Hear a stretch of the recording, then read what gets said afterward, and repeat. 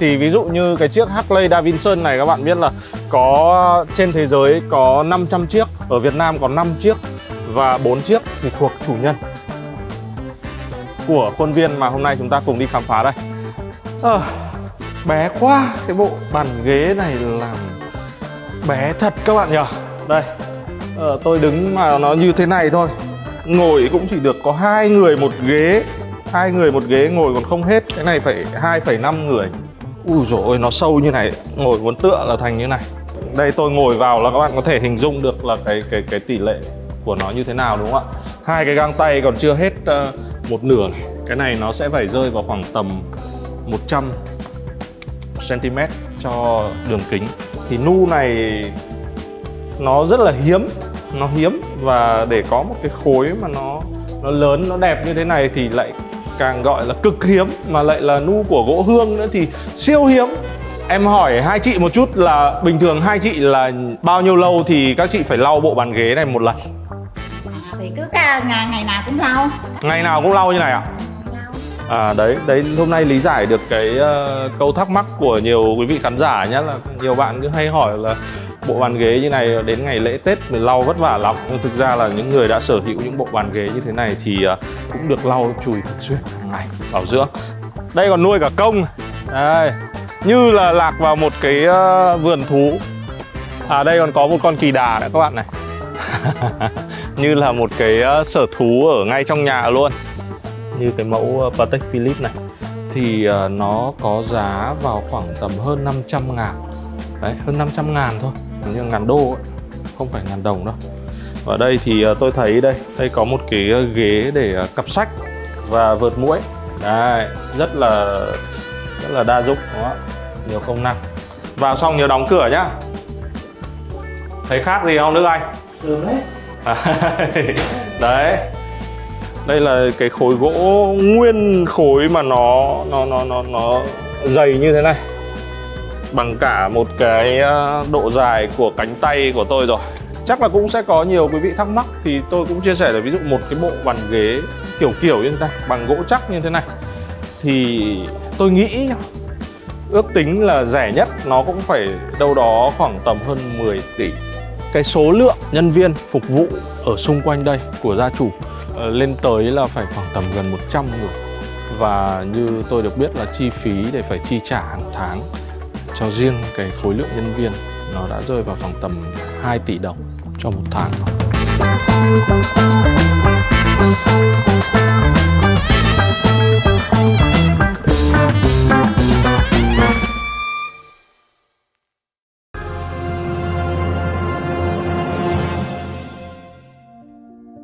Xin chào quý vị và các bạn đã quay trở lại với nhà to. Ngày hôm nay thì Hoàng Đức đang có mặt tại tỉnh Bình Dương Và đang à, ghé thăm khuôn viên nhà của một người anh của tôi ở trong này. Và quả thực là ngày hôm nay khi mà ghé thăm cái khuôn viên này Thì tôi à, thực sự, thực sự là muốn chia sẻ Cái cảm xúc của tôi lúc này, cái sự ngỡ ngàng của tôi tới cho quý vị khán giả của nhà to được cùng chiêm ngưỡng và thưởng thức cùng với Hoàng Đức. Và tôi tin chắc rằng ở trong số lần này sẽ có rất nhiều rất nhiều những điều thú vị và hấp dẫn mà có thể là quý vị sẽ không thể nào tưởng tượng nổi. Đơn giản, các bạn có thể nhìn thấy như là một cái ờ, khối nu gỗ xá xị ở ngay phía sau lưng của tôi đây. Thì đây chỉ là một phần nhỏ, rất nhỏ, ở trong bộ siêu tập gỗ, trong bộ sưu tập gỗ về thú chơi đồ gỗ của người anh này, của Hoàng Đức. Và để khám phá hết cái số ngày hôm nay, thì đây các bạn có thể nhìn thấy là để đi hết cái khuôn viên nhà rộng tới 15 hecta. Vâng, các bạn không nghe nhầm đó, 15 hecta. Và Hoàng Đức phải dùng một cái ờ, xe như thế này để di chuyển ở trong cái khuôn viên nhà này. Và bây giờ thì ờ, tôi sẽ cùng dẫn quý vị khán giả của nhà to. Chúng ta sẽ cùng đi khám phá một vòng. Tuy nhiên số ngày hôm nay thì Hoàng Đức sẽ chỉ tập trung vào giới thiệu tới cho quý vị về thú chơi đồ gỗ, những bộ sưu tập đồ gỗ có thể gọi là khủng bậc nhất Việt Nam. Một lát nữa chúng ta sẽ quay lại đây Còn bây giờ thì Hoàng Đức muốn mời quý vị, Chúng ta sẽ cùng à, Hoàng Đức đi khám phá một vòng Cũng như là vào những cái không gian chính Nào, chúng ta sẽ cùng đi khám phá cùng Hoàng Đức nhé à.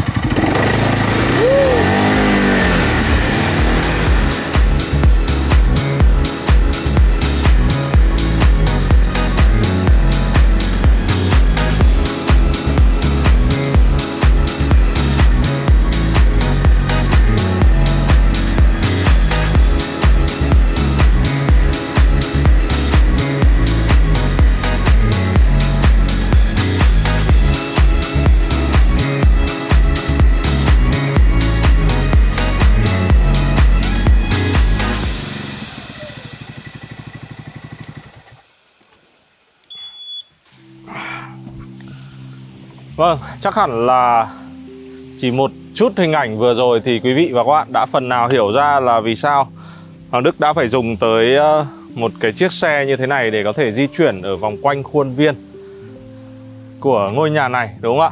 Và chưa kể, đấy, các bạn có thể nhìn thấy là ở đây có một chiếc ờ, Lexus 570 hay là đây có một chiếc Harley Davidson cũng ờ, F150 cũng thuộc nằm trong bộ sưu tập của chủ nhân khuôn viên này.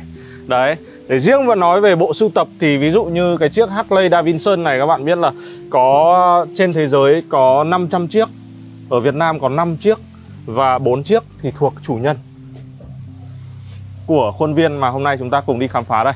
Đấy, tuy nhiên thì ờ, đấy các bạn cũng có thể thấy là mặc dù rất là nhiều xe nhưng mà đây mới là phương tiện di chuyển chính của chủ nhân căn biệt thự này. Đấy.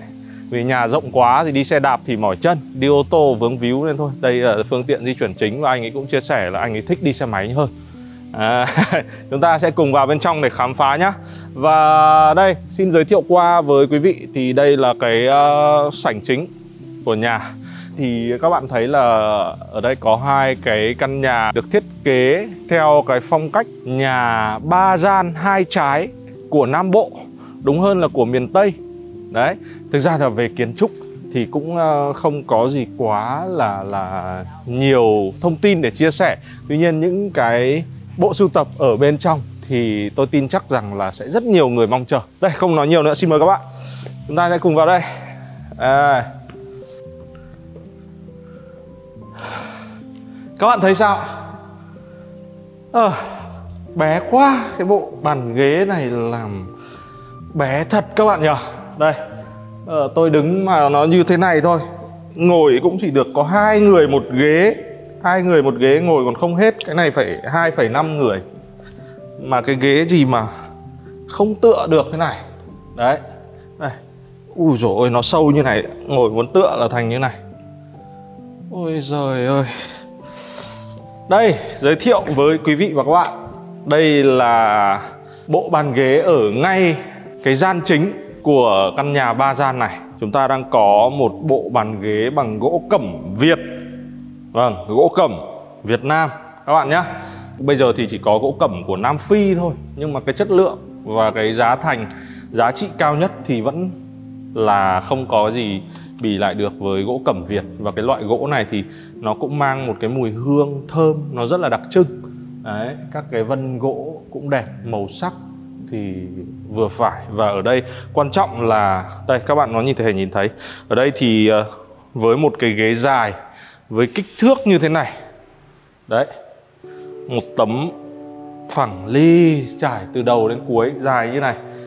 Đấy, chỗ này ờ, đây tôi ngồi vào là các bạn có thể hình dung được là cái cái cái tỷ lệ của nó như thế nào, đúng không ạ? Và cái tay ghế đây này, như lần trước, có một số mà căn biệt thự ở Thanh Hóa chúng ta đã được chiêm ngưỡng một cái ghế mà có phần tay ghế cũng khá là lớn rồi.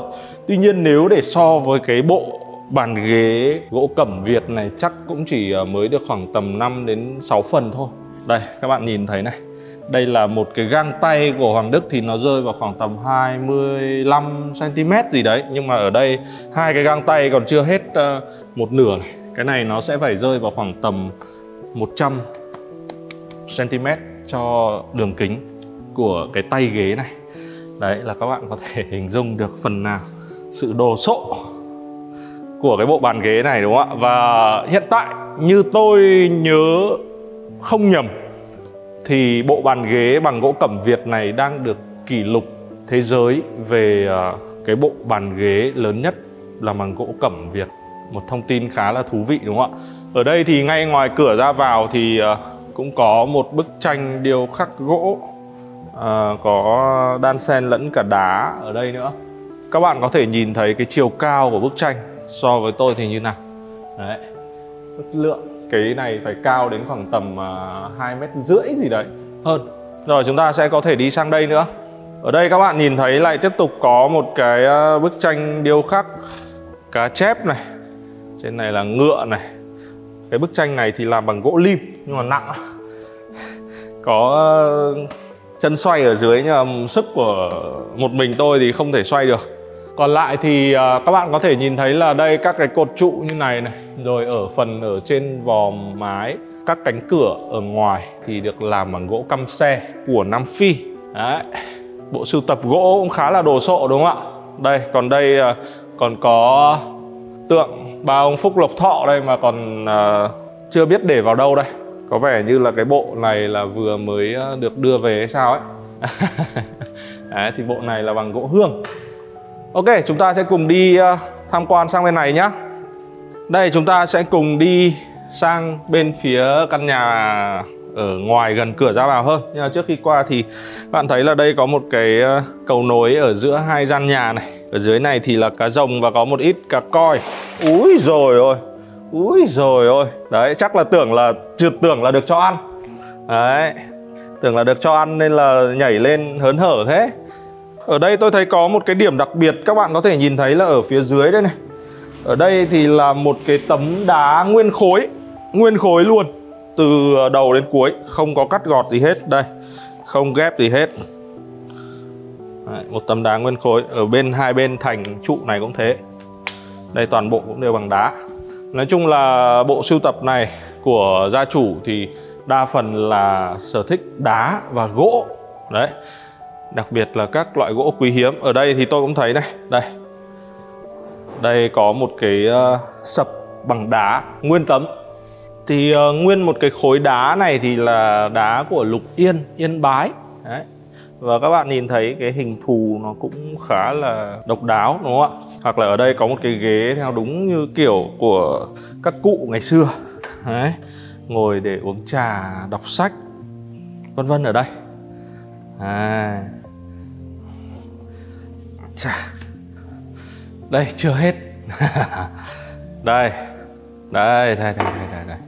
Cái này nói sau nhá, cái này nói sau. Đây, nói cái này trước đi đây, cái này mình thích hơn. Đây mời các bạn vào đây. Các bạn có nhận ra được là đây là bộ bàn ghế làm bằng gỗ gì không ạ? Rất là đặc trưng đúng không ạ? Đây giới thiệu với quý vị và các bạn. Đây là bộ bàn ghế làm bằng gỗ mun hoa. Gỗ mun hoa. Đây những cái đường vân này. Đấy. Và cái giống gỗ mun hoa này thì gần như có thể gọi là tuyệt chủng rồi hiện tại bây giờ thì cũng chỉ tìm thấy các cái loại gỗ mun hoa này dưới dạng lũa. Đấy, còn để mà có một bộ bàn ghế nguyên khối lớn như thế này thì thực sự là rất là hiếm. Tại vì bây giờ là Việt Nam mình là gỗ mun hoa này là liệt kê vào dạng sách đỏ rồi và cũng không được khai thác nữa. Thế nên là có thể nói là đây có thể gọi là một trong những cái bộ bàn ghế bằng gỗ mun hoa mà chắc là lớn nhất và độc nhất đấy lớn nhất thôi. Độc nhất thì ờ, cũng không dám chắc đúng không ạ? Đây. Ui, nhưng mà ngồi những ghế này không tựa được các bạn ạ. Ngồi ghế này mà muốn tựa là đây chúng ta phải ngồi như này. Đấy. Ôi trời ơi. Đến vua ngày xưa cũng không sướng như này. Ai chà. To quá. Đấy nhưng mà các bạn thấy tôi chỉ đùa một chút thế thôi chứ còn uh, những bộ bàn ghế này đối với gia chủ thì anh ấy cũng không sử dụng và để ở đây trưng bày làm nó giống như là là một cái sở thích, một thú chơi của gia chủ nhiều hơn. Các bạn thấy là toàn bộ toàn là đồ gỗ quý hiếm hết thôi à, toàn thuộc loại một, loại bảo tồn, loại sách đỏ hết à. Rồi chúng ta sẽ lại tiếp tục khám phá nhé đây. Đây. Các bạn thấy là ở đây thì có hai cái lục bình ở hai bên đây các bạn đoán xem là cao bao nhiêu. To gần gấp đôi người tôi khéo phải gấp 4 nhưng không phải gấp đôi nhỉ. Đây là bằng gỗ à, gõ đỏ rồi. Đây lục bình bằng gõ đỏ đây. Và để nói về gỗ gõ đỏ thì uh, chắc hẳn là cũng đã rất là nổi tiếng rồi. Cũng lại tiếp tục là một loại gỗ quý hiếm khác. Nhưng mà cái à, ấn tượng hơn cả với tôi có lẽ là cái này. Đây là một khối nu. Đấy, một khối nu rất là lớn của cây gỗ hương và chắc hẳn là cũng có nhiều quý vị khán giả là cũng biết rằng là cái nu này thì nó được hình thành là hoàn toàn là trong những cái quá trình phát triển tự nhiên của cây. À, khi mà cây nó bị những cái vết thương nào đấy hoặc là bị uh, đánh rồi mối mọt gì đấy và nó sẽ tự tiết ra những cái lớp mủ hay là những cái lớp để tự chữa lành cái vết thương cho thân cây thì nó sẽ dần dần cái quá trình đấy nó sẽ tạo thành các cái nu gỗ giống như thế này. Nó sẽ sần sùi xù xì ra giống như thế này. Chứ nó không còn không còn phẳng phiu giống như là cái phần thân cây ở đây nữa. Đấy, đây là những cái phần nu gỗ. Và cái nu gỗ này thì nó sẽ rất là giá trị. Có nghĩa là cái cây nó càng phải lâu năm tuổi và ờ, càng lớn thì nó mới càng có những cái uh, phần nu gỗ nó lớn giống như thế này đấy, và ở phía dưới thì cái phần gỗ bình thường cũng được ờ, điêu khắc, chạm trổ thành những cái ờ, bức hình. Còn lại phần nu này thì được chạm trổ giống như là cái phần da của con cóc đang ngậm đồng tiền vàng ở đây. Đấy, thì nu này nó rất là hiếm, nó hiếm và để có một cái khối mà nó nó lớn, nó đẹp như thế này thì lại càng gọi là cực hiếm, mà lại là nu của gỗ hương nữa thì siêu hiếm. Đấy, không biết là phải nói như thế nào vâng à đây nữa còn một chi tiết nữa đây. Ở đây thì à, các bạn thấy này ở à, xung quanh à, ở đây có những cái phòng cửa phòng giống như thế này đúng không ạ? Đấy thì toàn bộ những cái phòng này là gia chủ dùng để tiếp đón những bạn bè, những người khách của mình đến chơi thăm nhà. Thì uh, anh ấy có làm riêng ở đây là có 5 cái phòng riêng ở đây chỉ để tiếp đón khách khứa bạn bè đến chơi thôi. Đấy. Đây, chúng ta sẽ thử xem một phòng nhé. Nào. Đây. Xin mời các bạn đây là một uh, cái phòng uh, để tiếp đón khách bạn bè đến chơi đấy có nghĩa là buổi tối có thể ngủ lại ở đây không phải ra khách sạn ngủ nghỉ nữa à, cũng khá là thú vị đúng không ạ vâng và không biết là anh quay phim đã mỏi chân chưa? Tuy nhiên thì để nói hết về những ờ, bộ sưu tập những thú chơi của chủ nhà ở đây thì uh, chúng ta sẽ còn phải tiếp tục theo dõi. Và nếu quý vị khán giả nào còn chưa ấn like hay là đăng ký kênh youtube nhà to thì các bạn hãy uh, nhớ dành một giây để chúng ta sẽ cùng click đăng ký ủng hộ nhà to nhé. Rồi bây giờ Hoàng Đức sẽ tiếp tục dẫn quý vị khán giả chúng ta sẽ cùng đi tham quan thêm những bộ sưu tập khác nữa của chủ nhân căn nhà này. À nhưng mà khoan đây uh, em chào chị.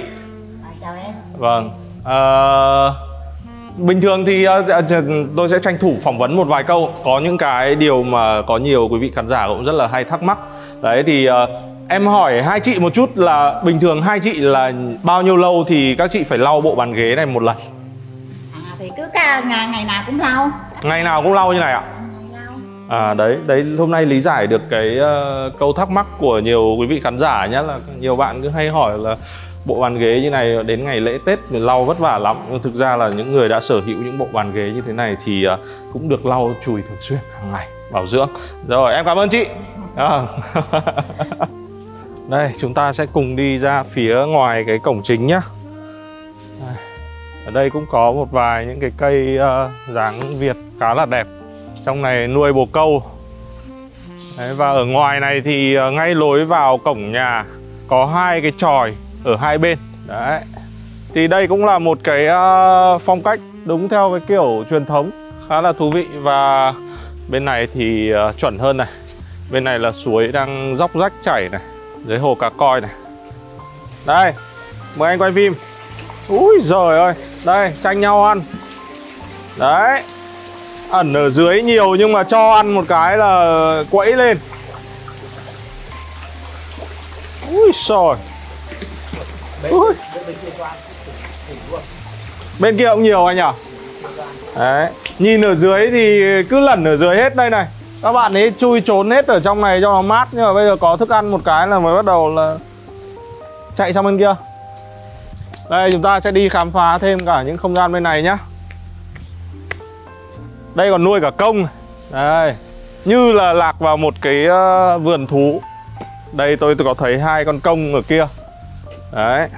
À đây còn có một con kỳ đà nữa các bạn này. Như là một cái ờ, sở thú ở ngay trong nhà luôn. Đấy, còn khuôn viên quanh nhà thì ờ, có rất nhiều chỗ để để xe cộ Tiếp đón khách khứa bạn bè thoải mái. Ở đây thì có nguyên một cái bể bơi lớn này, ở ngay giữa sân này. À, thì khuôn viên ở đây hoàn toàn có thể là phục vụ những cái bữa tiệc nướng BBQ ở ngoài trời vào buổi chiều. Đấy.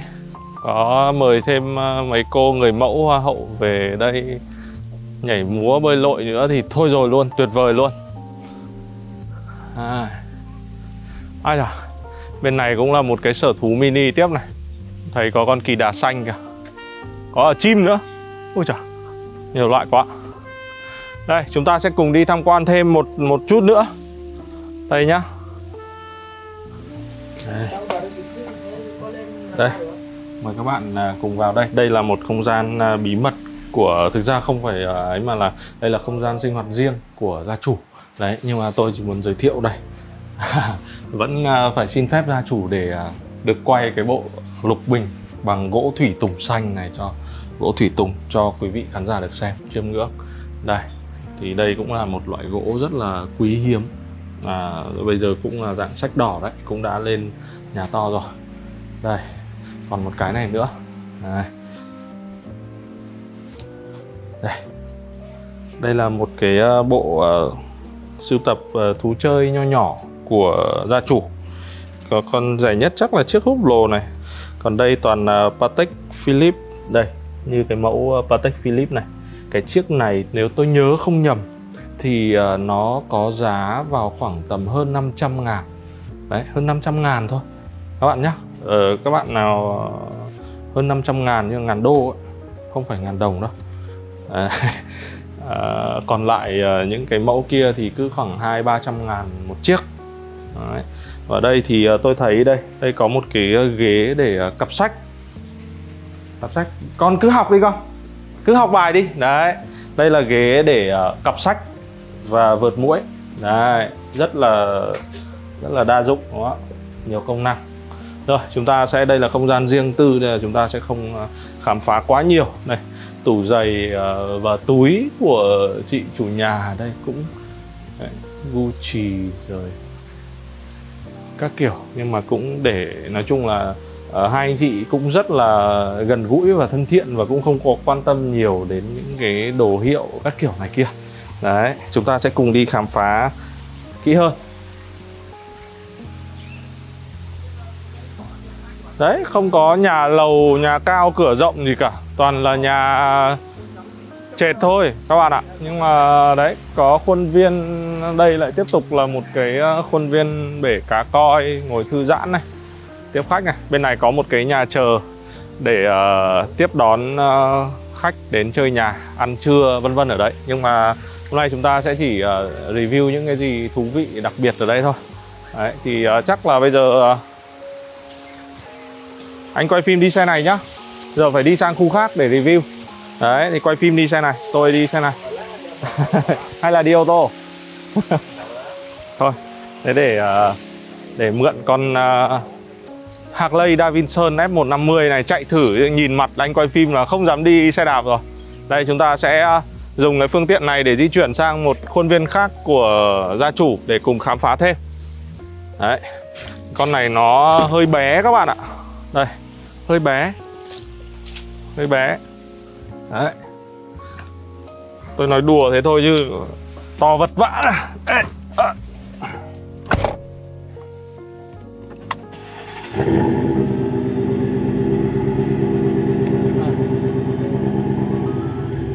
Lên thôi em đây đi uh, từ từ để uh, Hoàng Đức sẽ cho quý vị thấy là ở bên này thì uh, cũng là một cái khu đất của gia chủ. Và ở đây thì anh ấy đang uh, tiến hành uh, xây dựng một cái hầm rượu vang. Không phải hầm nữa là một cái uh, tòa nhà để uh, sưu tầm và uống các loại rượu vang whisky các thứ vân vân ở kia đấy chắc là độ khoảng tầm uh, một năm nữa là xong rồi à. thì uh, Hoàng Đức sẽ có một cái số để review tổng thể về 15 hecta đất ở đây cho quý vị và các bạn. Nó rộng bao la lắm đi mỏi chân. Anh quay phim từ sáng đến giờ đi tham quan là cũng đã khóc mấy lần rồi. Đây chúng ta đang đến cái đường vào một bộ siêu tập khác của gia chủ. Đây đây là làm những số như này là cũng phải uh, chọn lọc xem là sẽ quay những cái gì chứ nếu mà quay hết thì đúng là đến Tết mới xong. Rồi, xin mời các bạn, chúng ta sẽ cùng xuống phía dưới và cùng khám phá tiếp. Số này nó dài lắm, các bạn cứ ờ, đón xem nhá. Nào. Đi.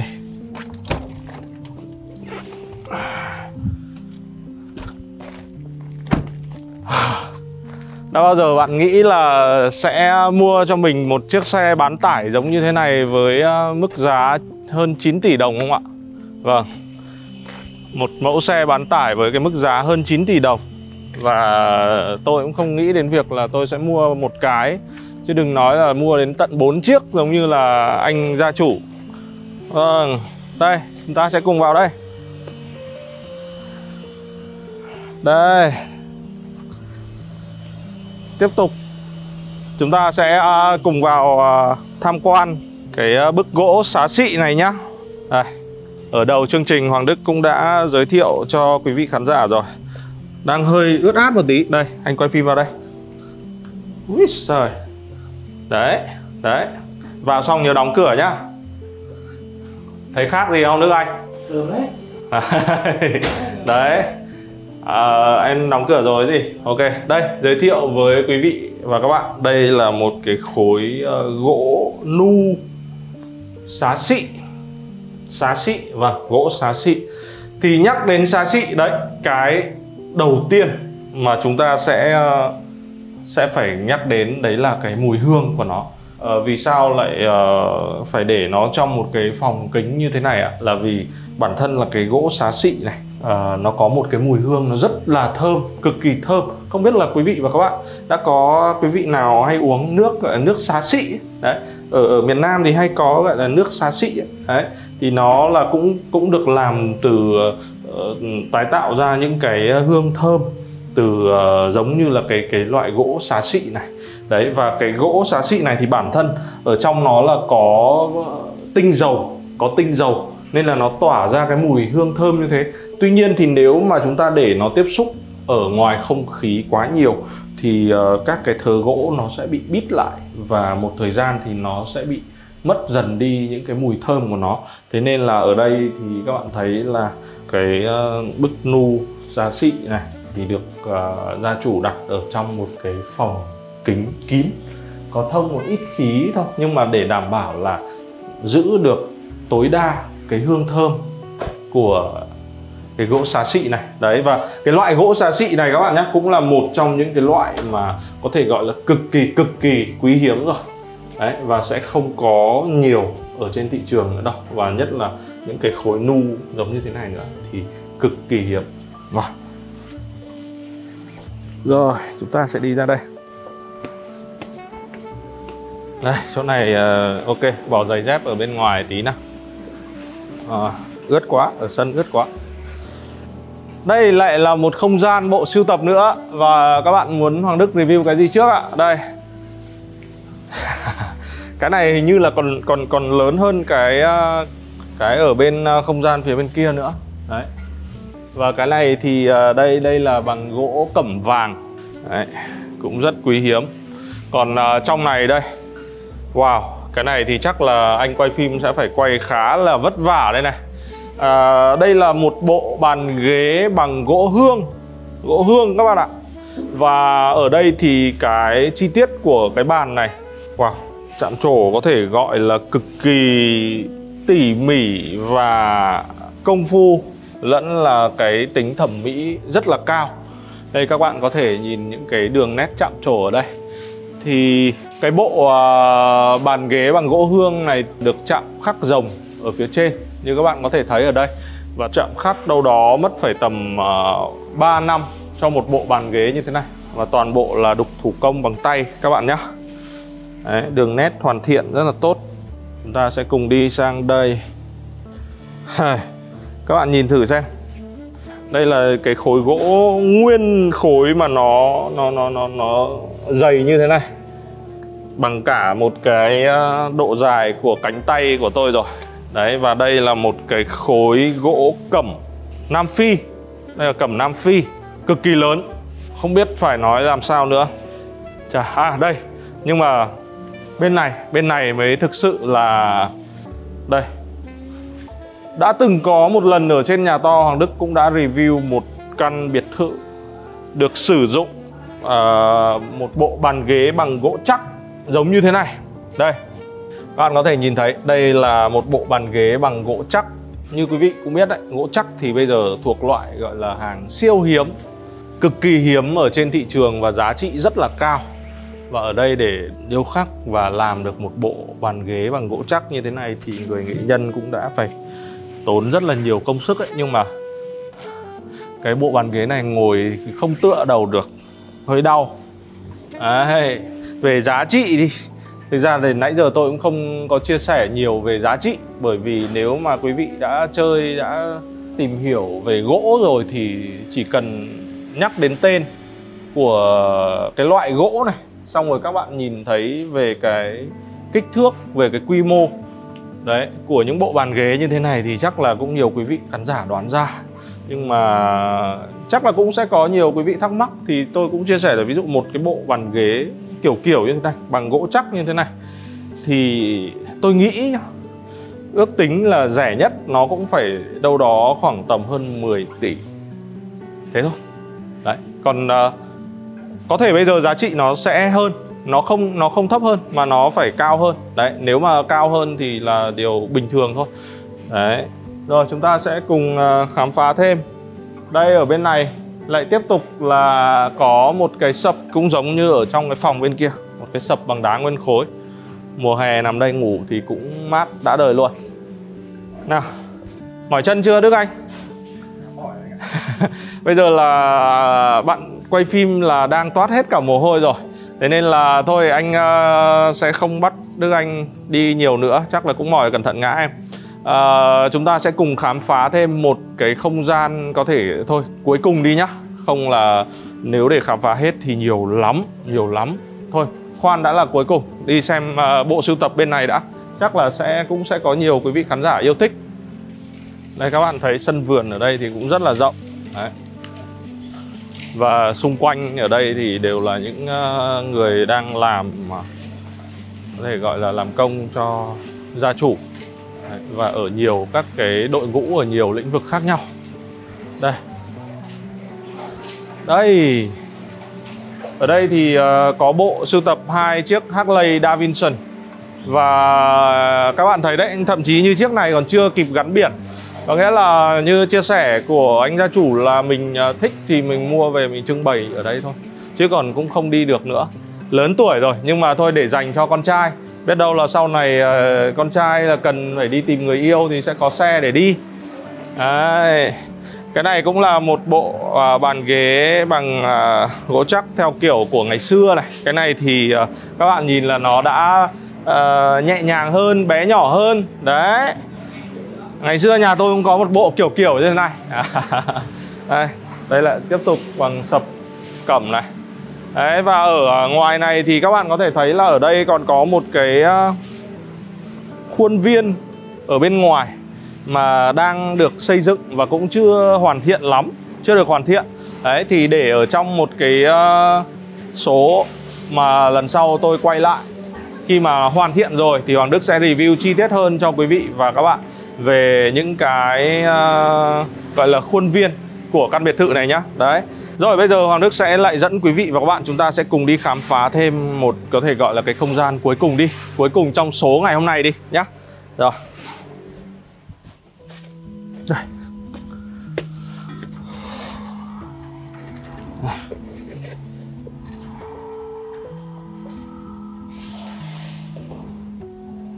đây còn à, một khuôn viên nữa ở trong này bây giờ là bàn ghế quá nhiều mà không có chỗ để.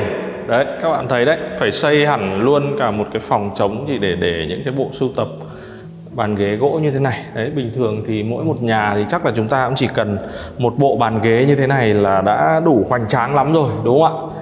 Ở đây thì các bạn có thể thấy là đây là một cái bộ bàn ghế bằng gỗ cẩm chỉ. Họa tiết và màu sắc cũng rất là đặc trưng.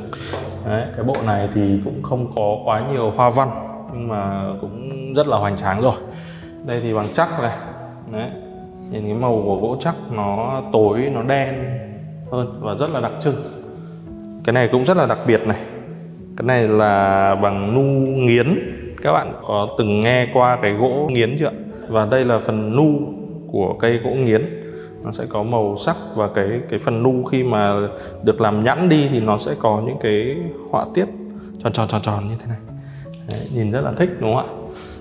Đây còn bên này thì có một cái bức tượng Phật Di Lặc ở đây bằng gỗ gõ đỏ. Đấy, cái này khá là cao được đặt ở trên ờ, một cái khối gỗ ở đây là có đá gỗ ở trong đá đan xen lẫn nhau luôn.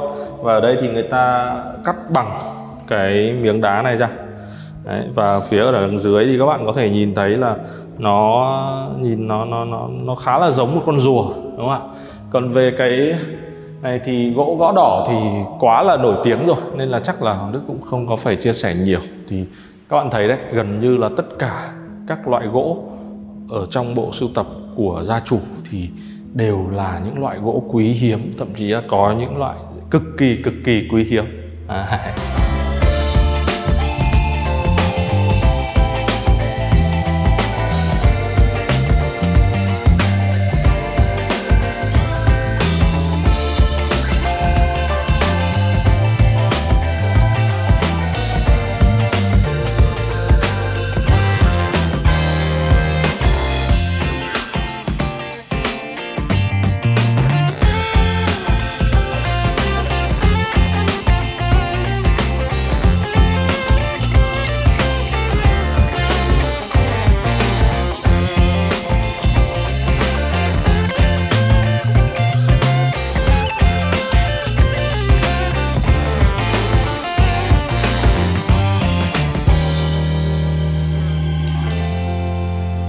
Như vậy là Hoàng Đức đã giới thiệu tới cho quý vị và các bạn một bộ sưu tập có thể gọi là độc nhất vô nhị tại Việt Nam đúng không ạ? Không biết là quý vị các bạn có đồng ý với tôi về quan điểm đấy không?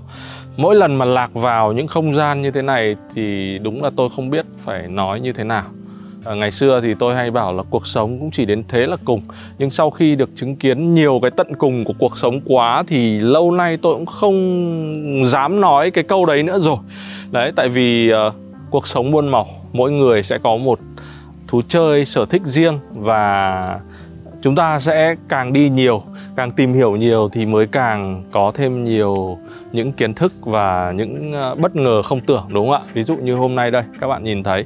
À, và chắc hẳn là sẽ có nhiều quý vị khán giả sẽ tò mò thắc mắc là không biết thế thì chủ nhân của cái khuôn viên này của bộ sưu tập này anh ấy làm cái gì mà anh ấy ờ, có cái ờ, kinh tế nó mạnh như thế đấy thì tôi cũng ờ, xin được chia sẻ với quý vị khán giả là anh chủ nhân à, của cái số ngày hôm nay chúng ta đi tham quan đây bộ sưu tập này đây những chiếc xe này đây rồi khuôn viên này đây thì anh ấy là một người nông dân chính hiệu vâng tôi xin nhắc lại là một người nông dân chính hiệu chuyên về trồng lan và xuất khẩu Đấy.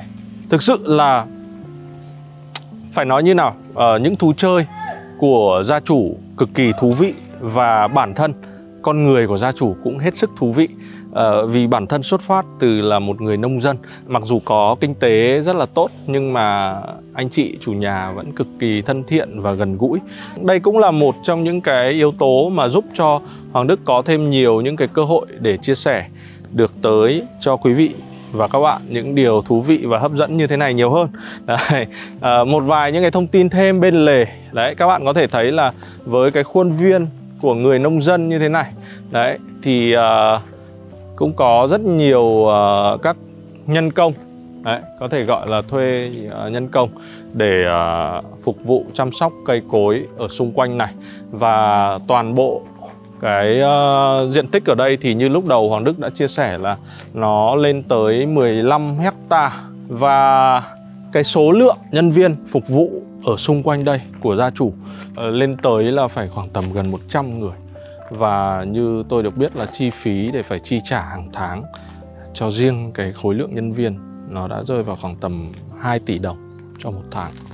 Và uh, không phải là một doanh nghiệp nào cũng có cái khả năng chi trả cho số lượng nhân viên giống như thế đúng không ạ? Và các bạn có thể thấy là đấy, làm nghề gì chúng ta cũng có thể làm giàu, làm nông dân cũng có thể làm giàu giống như thế này đây làm youtuber như tôi thì chưa giàu được thôi mãi vẫn nghèo Đấy. và các bạn hãy nhớ đừng quên like subscribe ấn đăng ký này chia sẻ để ủng hộ cho Hoàng Đức cũng như là nhà to à, cũng nhanh chóng là có được một phần chắc là cái lốp xe của cái chiếc Harley Davidson này đi.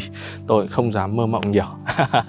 Vâng xin chân thành cảm ơn và hẹn gặp lại quý vị trong những số tiếp theo. Chân thành cảm ơn tất cả quý vị đã quan tâm theo dõi tới tận giờ phút này. Xin chào và hẹn gặp lại.